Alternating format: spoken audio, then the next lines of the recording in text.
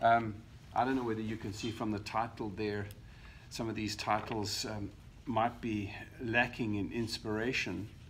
Uh, you know, back to school, part three, the miraculous work of the Holy Spirit might be kind of clinical. So we might be in the future doing a series. And so I've come up with some creative titles. And this is the first one that we might do in a new series. It's called The Day My Girlfriend Tied Me Up in the Bedroom. Or if you prefer something more mundane, lessons from Samson and Delilah. we heard that on a podcast recently. you thought, wow, all sorts of things were conjured up in your mind by the first title, and then, oh, okay, Samson and Delilah, we know that one. anyway, I do have um, some things to share this morning on the miraculous work of the Holy Spirit, and how many of you would like to see miracles in our midst more than we do? Would you raise your hand?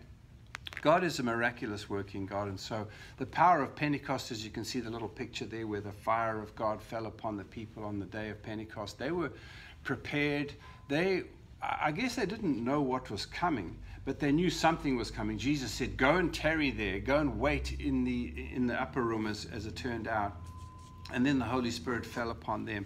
And then later on, when Paul um, uh, wrote his letter, he kind of summarized things a little bit and he said, For the kingdom of God is not in word but in power. So he was looking back over his ministry at that time.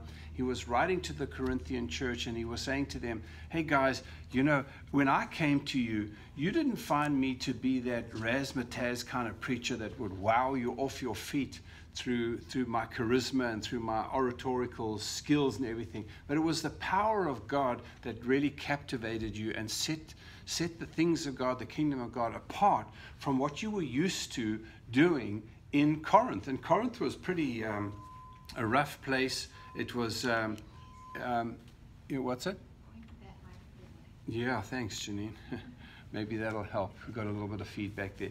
But you know, the, the Corinthian church was used to all sorts of stuff going on in the spirit realm but when the power of God came, it captivated them. And, and if I look at people that are struggling in their lives with certain issues and, and things that they're facing, really what has happened is that they're no longer captivated by the things of God. And I don't know how to deal with this except to perhaps um, uh, put it on mute and just rely on, on regular. So let's do that. So, anyway, moving right along here. Have a look at this next slide here. I don't know whether you've got to a point this last week, even where you felt that the Word of God that you've been studying, the Word of God that you understand, is just simply not enough. And so we've got this photograph here of this huge, big, earth moving um, piece of equipment. And that's an image that the Lord gave me is that He said at, at one particular time, not in these words, but He kind of gave me this picture that if there's something big that needs to be moved in your life, don't try and do it in your own strength with a little shovel because it could take you your whole lifetime to move that particular thing. And we've got uh, earth movers across the road in a subdivision that has developed across the road. It, it was a forested area. There were some couple, couple of old homes in it and everything. And they eventually tore everything down and they brought these huge machines in absolutely huge machines that would, that would cut the trees down. The trees would fall, they would chop them up and get in, into lengths and everything. And the machines were doing it. It wasn't some guy with his little chainsaw and so on. The machines would come in, they would grab the tree and they would tell it, chop, chop, chop, put it over there, and another machine would come and put it on the other truck, and off it'll go. And something was done in a day that would take me probably about six months to do, you know, in a day because of the earth moving machinery. And then they started to scrape the land and everything like that, and the whole area has been transformed into a new subdivision.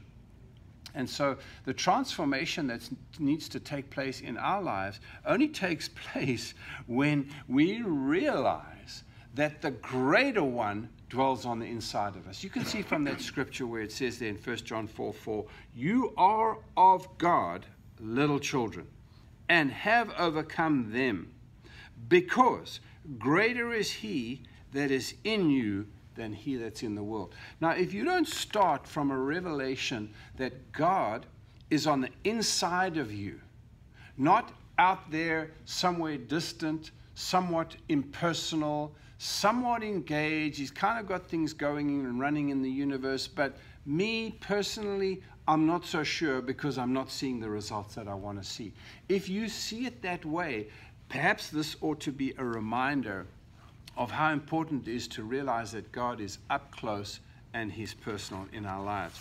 And so, even when we read our Bibles and we begin to think, okay, God, you know, I'm reading, I'm meditating. Last week, the pastor talked about the importance of the Word. Well, now this week, he's talking about the importance of the Spirit. So, we need to kind of get two sides to the same coin, which is what you see here.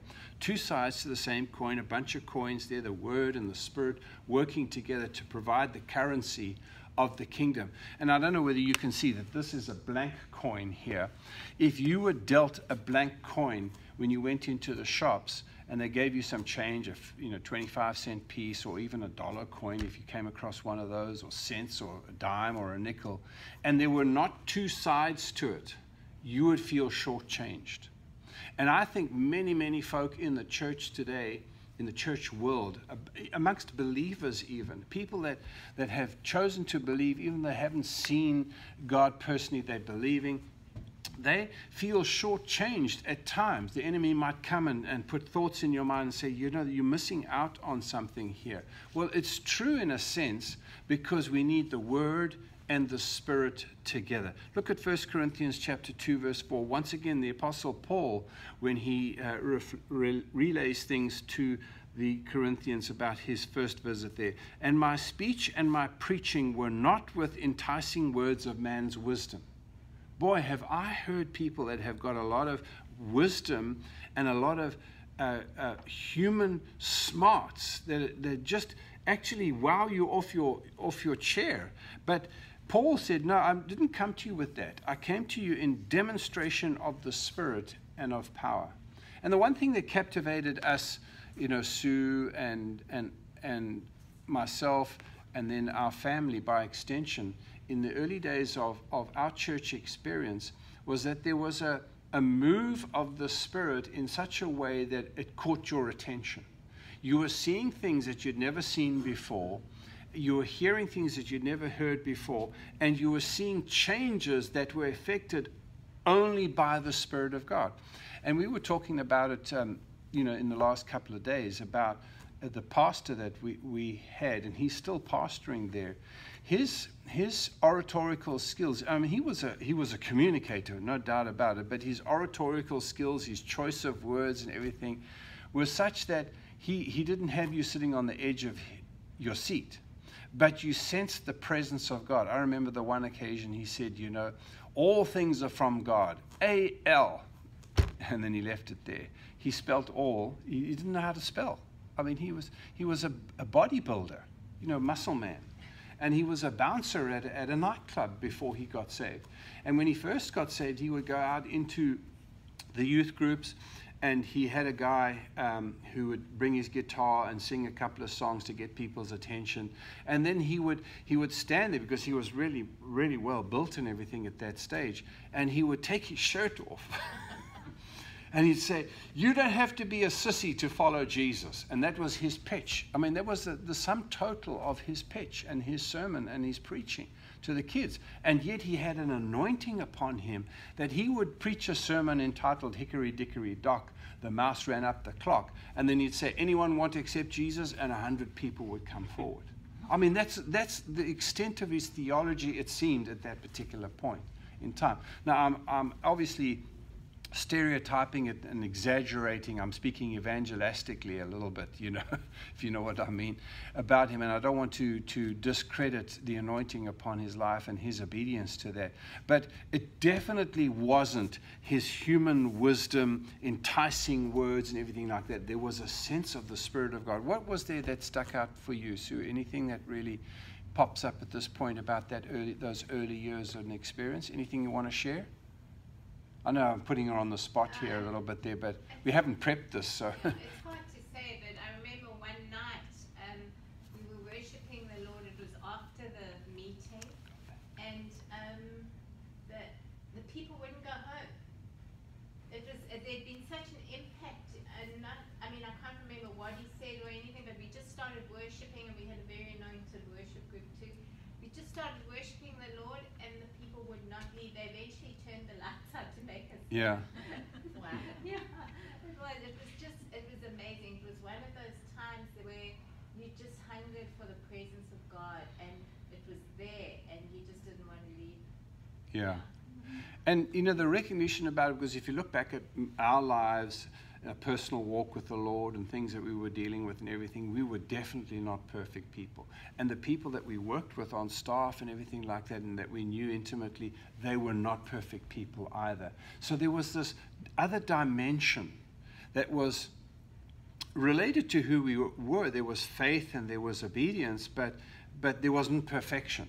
And yet the Spirit of God, by His grace, was there. The Spirit of grace was there. And people's lives were changed. People were, were saved. People were healed. People were baptized in the Holy Spirit. Um, they, were, they were, their hearts were turned around. Their marriages were restored. And their finances turned around for the better and, and things like that. It was wonderful.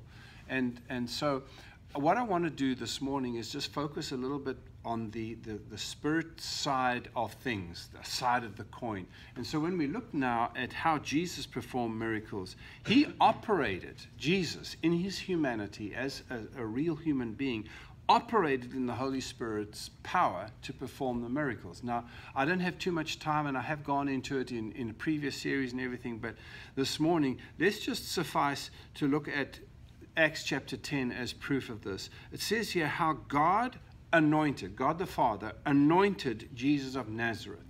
Jesus of Nazareth in, in his humanity, of Nazareth, not of heaven for eternity, but of Nazareth, born of Mary, the Virgin, um, you know, back in the day.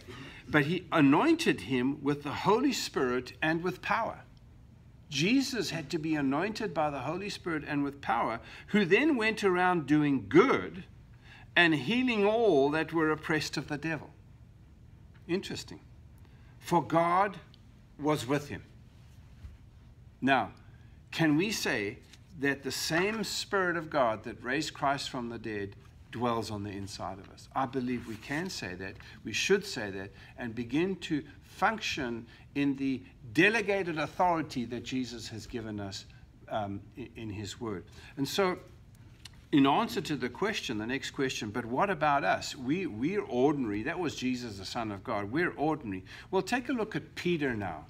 Peter the Apostle, okay, he was preaching at one time after the day of Pentecost. He went down to Cornelius, who was a Roman centurion, funny enough, part of an occupying army in the whole area there. And he went to his household and he was preaching the word of forgiveness that is found in Jesus by faith, not by a set of works. He was preaching this message, and while Acts 10:44, Peter yet spoke these words, and when you look into the, all the verses around this particular passage here, you find out that he was speaking the word of forgiveness.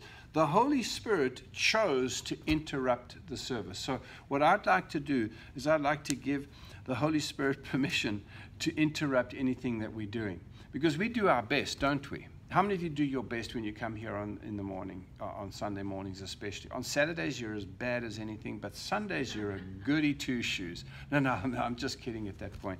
But yeah, we, we're giving it our best shot as we understand things at this particular point, but we welcome the Holy Spirit. We sing songs like Set Me Ablaze and Let There Be Light and everything like that, and we kind of get through the, the worship um, song part of things there.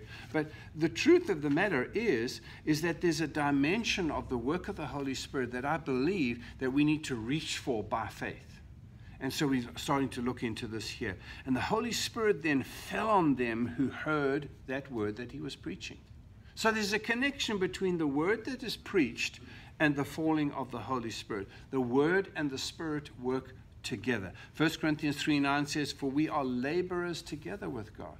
So, you know, if you have the mindset where you think, okay, if God, in his sovereign will, chooses to manifest himself in a spiritual way, it's his business. All we've got to do is put our head down and walk the walk of faith. Well, in one sense, that's true. But in the other sense, when we read the scripture, we know that God is here and we are here, let's say. And the miracle working power that has been made available to us in the Holy Spirit has to be activated, has to be engaged with, has to be reached for in faith or released out of us in faith. However, you see it, um, that's, I believe, what we need to be looking at. Now, in answer to this question, but what about us? Can't we then turn in the next point here? But Peter was an apostle, and I'm not.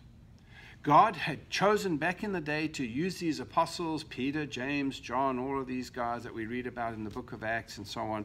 And they performed these wonderful miracles. It got the church going. It gives us something to focus our attention on and just glorify God while we're looking at, look at all wonderful things that they did in Jesus' name. What about us now? Did it go beyond just the apostles to another category of believer? And by extension, from that category of believer to all believers, and then from all believers believers down through the generation to where we are in the 20th century, 21st century? I believe so.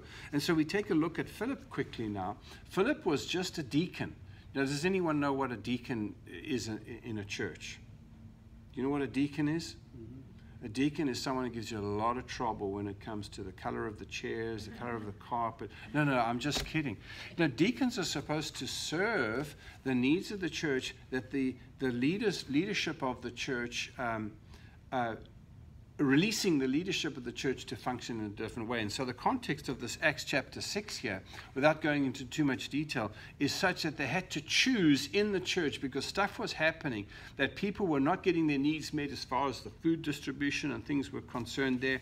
And so what they did is they chose a bunch of deacons. And have a look here in Acts chapter 6, verses 3 to 5. Seek out from you, this is the instruction that they got, seven men of good reputation.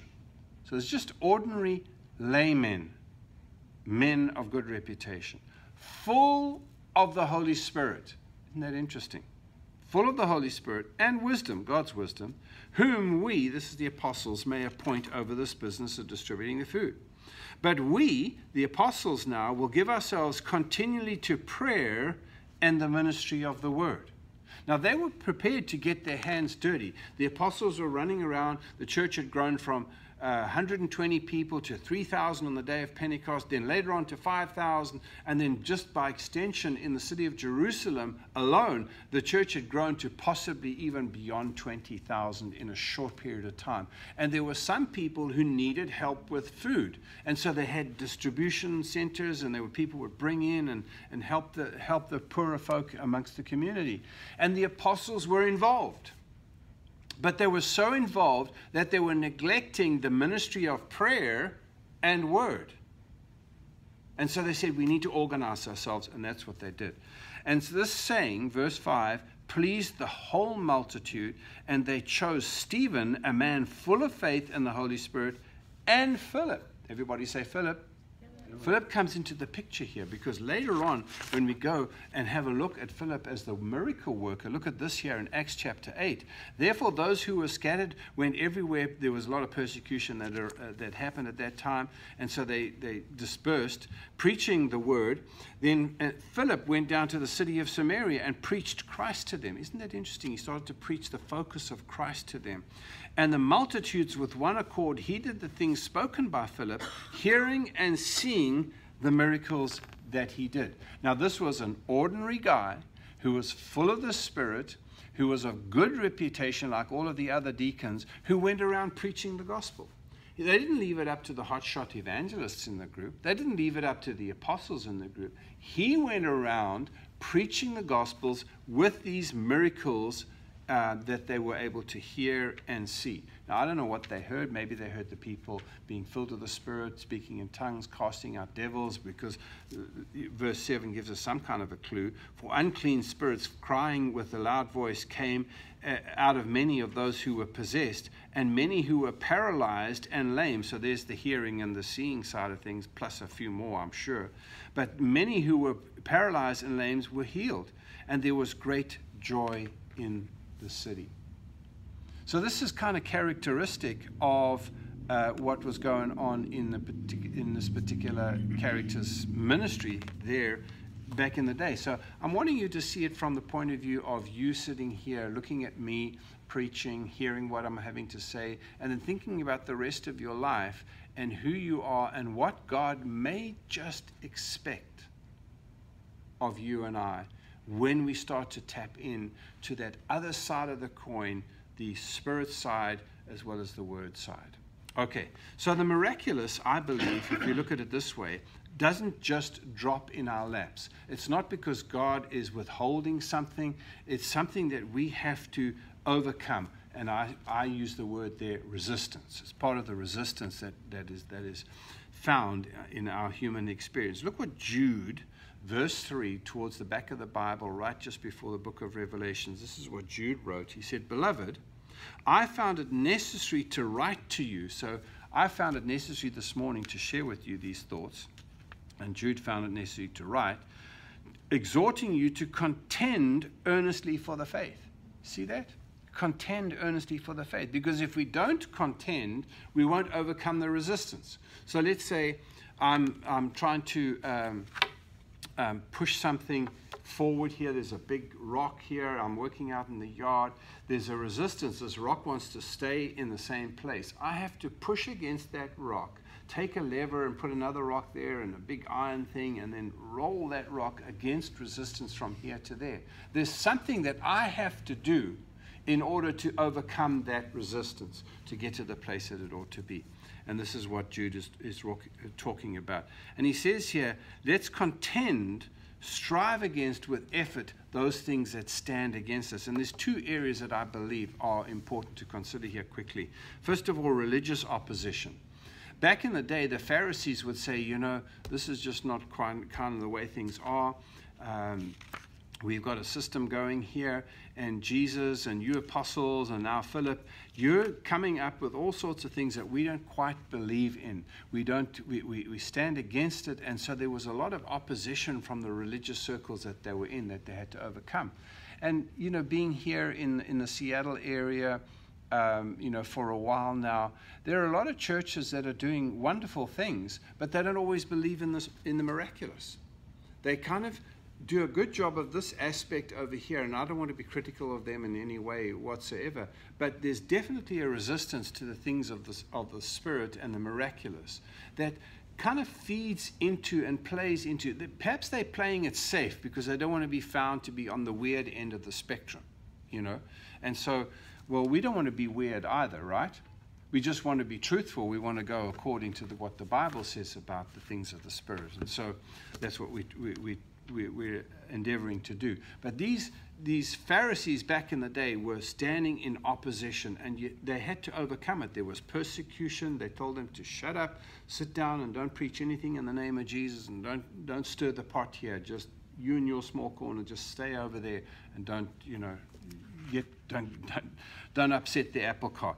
Well, then on the other hand, there's the general cultural and social opposition that you and I in our modern 21st century situation might find. Because if you take, and Greg has to deal with a lot of people at, at high schools now, they're Greg, if you had to pass a comment, would you say that the average kid growing up in modern high school here in our local area is being taught the things of God, exposed to the things of God, has a, has a general feel for things from day one when they enter school at about age six to the time that they leave age 16, 17? Are they experiencing that, or are they experiencing an education that is devoid of the things of God? What would your answer be? Devoid. They're growing up in a culture, in a society that is not gearing up people to believe in God. There's actual resistance to the things of God. And they come up with things in the Constitution. And they say, you know, we need separation of church and state and the church needs to be in its little corner. And you can believe what you believe because we've got freedom of religion in America, but don't allow your faith to bleed over into the economic realm, into the political realm, into the cultural realm, into the arts and media, into education and everything. We've got all this under control. You can be cute in your little corner over there. Well, is that the way God sees a society? I don't believe so. And so there's a lot of conditioning that people growing up in our society are facing a resistance to the things of the Spirit. And so when we look at this next slide here, we've got a beautiful picture of an operating room, and Sue's just started on a new, new course in, in her job, job scenario here. And in, in trying to answer the question, why is it that in the 21st century, where we have modern medicine and everything, do we need miracles? Of healing. Let's just fo- focus in on that for the moment, even in our modern scientific dominated world. Well, most people, if you take the planet now and think of God now, God in heaven, looking down at the whole planet, where there's 7 billion people plus in this current generation, never mind all the billions of people that lived before, but right now, 7 billion people, they say, on the planet here. How many of those people have access to this kind of medicine. Modern, high tech medicine. Maybe, Sue, you can speak of some of the experience here that you, you just had that might be pertinent to this point here. I mean, the modern medicine, the, the, the, the, cleanliness, the, the whole protocols associated with it. Just, just maybe share something, just a quick story about that. Well, just the intensity of it. The intensity and the expense of um, modern medicine and everything, it's just, it's actually mind boggling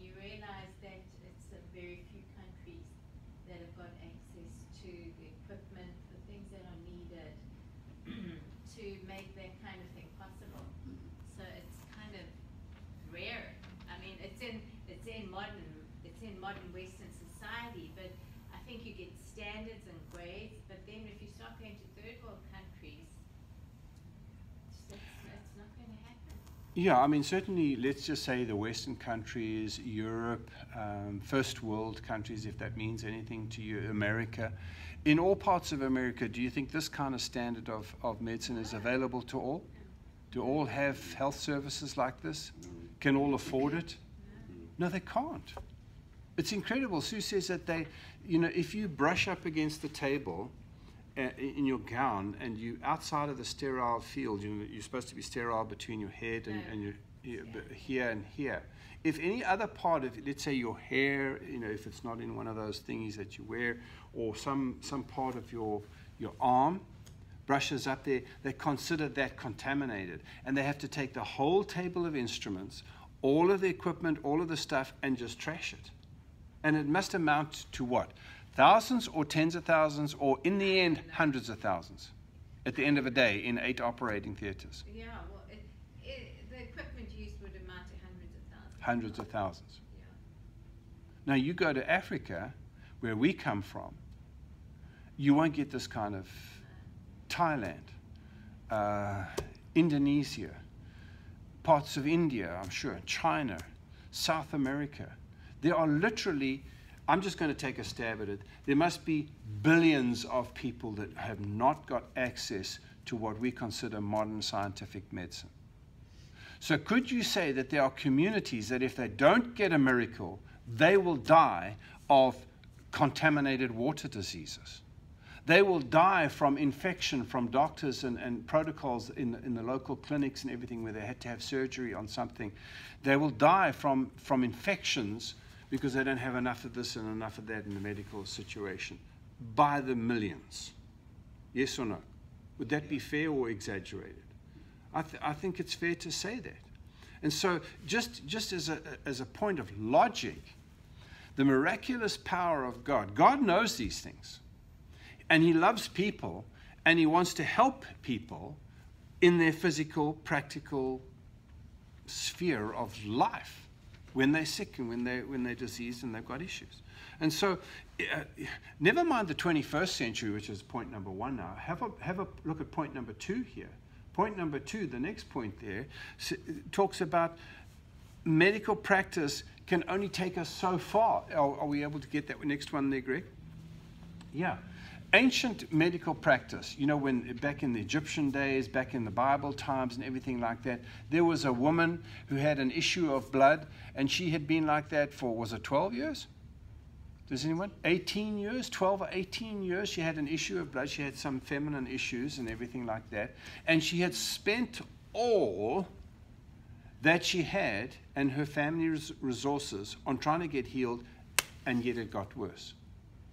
Now, that was at the time where the temple was there, they had the, the, the, the laws of, of the biblical laws, and the, it was the time when Jesus was walking. And he, she had to come to him and touch the hem of his garment to get healed.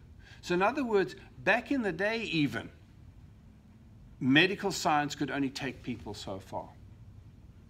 And so Jesus comes along and he's redemption on two legs.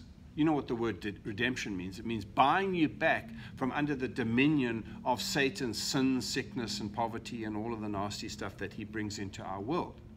Jesus comes and he buys us back and he pulls us into his kingdom. We respond to his grace by faith, and now suddenly we're under his protection, we're under his covenant, and he redeems us and so what I'm saying is that he, he redeemed people. He didn't point people, he didn't say to the woman of the issue, you know what? I tell you, there's a great doctor in Mexico. And He's got a new cutting edge technology. You need to get a boat and go there and get healed. No, Jesus healed them. Do, do, do you get my drift here? He did what the medical practice of the day could not do. Redemption, as you see from there, trumps creation. Now, should we eat good food? Should we exercise? Should we get good sleep? Should we uh, uh, practice good hygiene protocols? I believe so. Should we make sure that our food's properly cooked so that the bacteria and you know that type of thing? All of that stuff is is fine. But when it doesn't deliver, what are we left with? We're left sometimes with religious people saying, "Oh, it's the will of God. He's trying to teach you something." Now, that doesn't sound cool, to me at least. It sounds like religious resistance. Or we're faced with a situation where the doctor looks us across the table and he says, You know, we're doing our best, ma'am. This is the best that we've got. We've got these pills and we've got that and everything, but you know, this is just the way things are. You, you must try this and you must try that. And he sends you out the door falling short of what you really need. But if we serve a God who is real, and he really loves us, and really paid the price at the cross to cover all of our needs, whether we have access to this modern technical stuff which has its limitations or we don't. We have a God who stands in the middle and says, Come to me. Come to me. Focus on me. My redemption trumps anything that you can do in your own strength. Because the Mediterranean diet, how many of you have heard of the Mediterranean diet or the paleo diet? Anyone had the paleo diet in the last six months or anything, or the Mediterranean diet? Well, do you know what? People were sick eating the Mediterranean food 2,000 years ago when there were no pesticides, no insecticides, no Monsanto GMO, no nothing, no nothing, no nothing. It was all the fish and all of the nuts and all of the figs and all of the olive oil and everything. It was all pure. And yet the people were sick in their droves. Jesus had to go around healing people who were sick here, and Philip had to go into Samaria and heal people, and so on and so on and so on. Are you, are you, are you getting what I'm trying to say here? Hmm. We need God no matter what. Okay, so let's just try to wrap things up here in terms of an application. And I'm not trying to be difficult this morning, but I, I would be remiss personally if I didn't share with you what I understand from the Word of God. And so it behooves you now to take what is in the Word of God and say, okay, he's taken a few stabs at a few pointers here this morning about the miraculous power of God as it pertains to particularly healing, let's say it behooves you to get into the Word of God and really settle the matter for yourself. Settle the matter for yourself. You have your lifetime. Put it on your bucket list. I will settle the matter that God is a good God, and I'm going to apply my faith, and I'm going to reach out, and I'm going to look unto Jesus, the author and the developer of my faith, for every area of my life starting with this issue, starting with that issue, whatever it is. Okay. So, how exactly, let's try and wrap this up. How exactly do you and I contend for the faith? You remember we mentioned the scripture earlier on? talking about contending for the faith. It just doesn't drop in our laps, this stuff. We have to contend for it. Well, number one, desire the miraculous gifts of the Holy Spirit. You see that there? Number two, recognize the work of the Holy Spirit in and through us. And then number three, expect the miraculous. I get up every day and I say, God, this is the day, this is the day that miracles happen. And we've seen a smattering of miracles, and yet Jesus' ministry, it was day by day. The apostles, it was day by day. It was the deacons, it was day by day. And then Jesus himself said, you know, through Mark chapter 16, he said, uh, he said, those who believe shall lay hands on the sick and see them. Those who believe. It's, it's available for all of us. And so I, I think if we don't expect something, then God is not going to force it on us like anything. And so those three things desire, recognize, and expect kind of puts an attractive pull on God's power. Hopefully, this is making sense to you. And just in conclusion, as we prepare to take communion at this time, as a final takeaway, when it looks like there's no way out of your situation, whatever it may be, and today you might kind of have things more or less in order, but tomorrow you might be faced with a situation that's just out of your reach. But God, know that Jesus is the way, the life, and the truth, and that He will make a way when there seems to be no way. I'd like to encourage you with those words and you know, as we mentioned early on, we come from Africa, and it's been how many years now, Sue, since we moved to America? 94. So what does that make it? 38 years? No, 20, 20 28 years. Sorry. My maths, you know. 24 years. 24 years. There you go. 24 years. And so we've been wearing Western clothes for 24 years. We've finally worked out how to use a washing machine and a tumble dryer and a microwave and a stove and drive motor cars and everything. Because, you know, we come from Africa where you've got giraffes and you've got elephants and you've got lions and tigers and, and, and, and warriors running around with spears. Woo! Oh, no, that's Red Indians. Sorry. Sorry, God. I just, I just blew it again. Anyway, I'm, I'm saying all this to set you up for this next song because Here's a church that you've probably not heard about. It's called Christ Embassy Church in Nigeria, Africa, Lagos, Nigeria. And Nigeria's got about 90 million people, I think. the continent of Africa's got about 500 million people, so they say. We used to live on the tip of it, South Africa, right at the tip of it, in a modern Western culture. Johannesburg, the city that we grew up was, had skyscrapers, had freeways, it had hospitals with surgeons, it had shopping malls, it had cars, it had soccer fields, it had everything that you have here in Seattle, just a la 1990s when we left. Right? And in Nigeria, I don't know whether you know anything about Nigerian churches and everything, but I've mentioned one before where the, the auditorium for the one church seats 50,000 people in one sitting. 50,000. This church is, is like, let's just say 10,000 or whatever. And so this worship leader, she, she's someone you probably never heard. I heard her, her songs sung recently when I went to Tampa and everything. And so I Googled it and YouTubed it and everything like that. And she has produced songs that have gone around the world that I didn't even know about. And so I'd like to encourage you to open up to the things of the Spirit, to the exuberance. And it's not that we're going to adopt the style of worship and everything suddenly in the church and so on like that, but just be open to the miraculous message of the Waymaker as we partake of this communion. Watch the words. They are on the back of your bulletin, by the way. They will be shown on the screen here too. And it's pretty powerful experience that we see here on the video as we partake of communion, so feel free to do so at this time. The music will start in a moment. God is not human that he should lie, not a human being that he should change his mind. Does he speak and then not act? Does he promise and not fulfill? Hallelujah. Thank you.